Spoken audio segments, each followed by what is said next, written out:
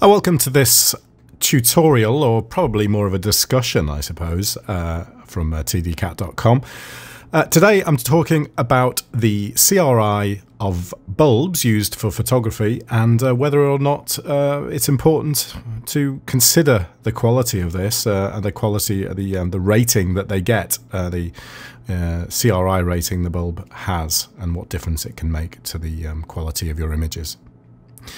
So CRI is actually a really interesting topic. It's not one I know a massive, not something I know a massive amount about, but essentially, as I understand it, if you have your electromagnetic spectrum, you've got your visible bit, which is something like this. So there you can see a um, your uh, your spectrum from the uh, low frequency and and uh, large wavelength reds up into your sort of blues and, and violets and uh, up at the top, so the high frequency stuff.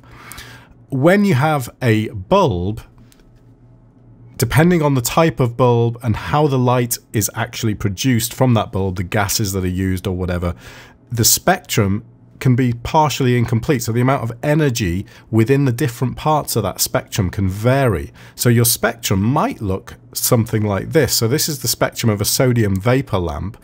And you see that essentially there are bits missing. There are bits that are very, very dominant and bits that are actually missing.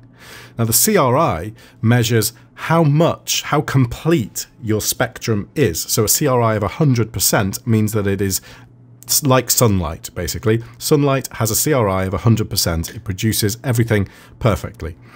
Other bulbs, for example, CFL bulbs that you would buy, uh, so energy saver bulbs, basically, that you'd buy to put around your house, have a CRI of roughly 80%. So if you think about that, as you move through the spectrum, there are certain parts that are missing.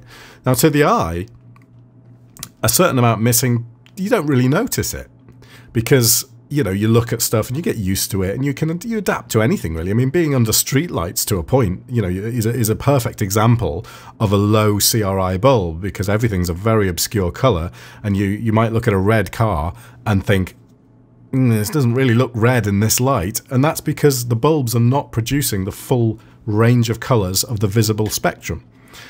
That's how I understand CRI. And my question today is, how important is it when con when considering uh, taking pictures with uh, with bulbs and uh, studio bulbs and that sort of thing. So I thought I'd do a really really basic experiment. All I did, I took two pictures, one with tungsten bulbs. Now the benefit with tungsten is that it's essentially just a burning filament. So a burning filament produces it is it's 100% CRI. It produces it covers the entire spectrum perfectly a an uh, energy saver bulb, according to the uh, website of the ones I was uh, using at the time, the just a Philips standard household bulb, has uh, had these ones had a CRI of um, 81%. Now photography bulbs might be a little higher than that, might be they're probably better, they're probably like 90, 95%, but it's worth looking at because if you take a look at these two images that we've got here on the screen, um, the bulbs in this case were actually set to uh, to uh, they're actually rated at 2700 Kelvin, so I need to adjust both these images. But let's just take a look at the two images to start with. Here's the first one. This was taken with the tungsten bulbs. And this is the same, exactly the same, no changes made to the camera settings whatsoever, apart from exposure. And The exposure is slightly different on both these images, so I might just match that up. Let me just increase the exposure on this to kind of match it up to the other one. No changes made whatsoever. They're both actually shot. Both the bulbs are rated at 2700 Kelvin, so in fact we're going to make that change to these images. And here. Okay, so if you compare these two now, you'll notice that the colours on this one, I mean obviously you haven't seen what the actual room looks like, but the colours on this one are a lot more natural they're a lot more, the whites are more sort of as you would expect, and whites and creams are more as you would expect them to be. The reason I took a picture of this toy is because it's got a lot of bold sort of colours in it, and a lot of kind of RG reds, reds and greens and blues in there.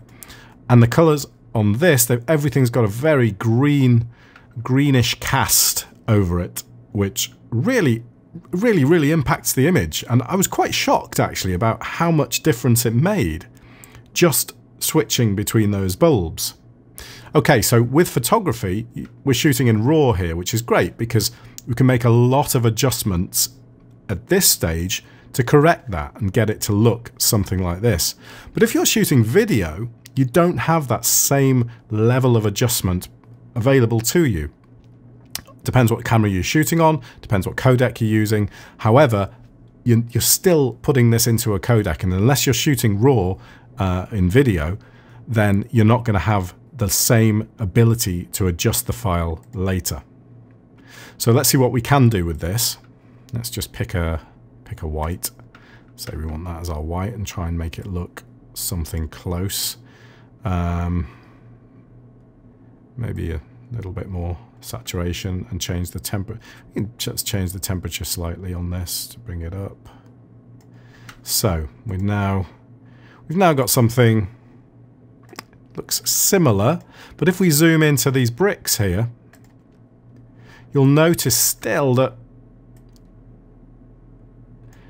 the colours, the actual reds here, here we've got a lovely rich red and everything's very much very much exactly as it looks. I mean, I know what these blocks look like, so in daylight anyway. And here, see again, we've got this cast, this green cast on it. So let's try and get rid of this green cast. But the more we, you see, it's a push, bit of a push-pull affair here, where we have to just one thing, but then if we push the tint over to that side, we start having impacts elsewhere. So if we put the color temperature up, then we start, everything else starts to suffer.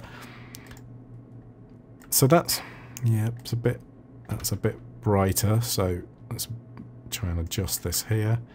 Bring that one up. So that's looking pretty close now. Fine for photography work. You know, you can make all those adjustments later. But the point of this really was to sort of, well, if you're going to shoot video, think about the bulbs you're using and do try and get something that's really high on that CRI rating because it does make a big difference and um, I've actually replaced a lot of the bulbs because because a lot of the stuff I'm doing is just family stuff. You know, if you're shooting pictures of your family or um, your kids or something like that, then uh, you might be doing a lot of photography around the house and uh, at different times of uh, day. It's not always daylight stuff.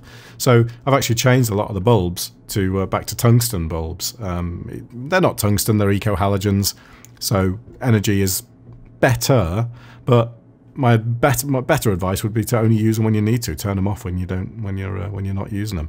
So anyway, I hope that gives you a good idea, a bit of an introduction to CRI if it's not something you've thought about before. So next time, if you're looking at your bulbs, make a sort of consideration as to what uh, rating they get, and um, and maybe it's worth paying just a little bit more to uh, to have higher rated bulbs that uh, reproduce colours in a faithful and accurate way.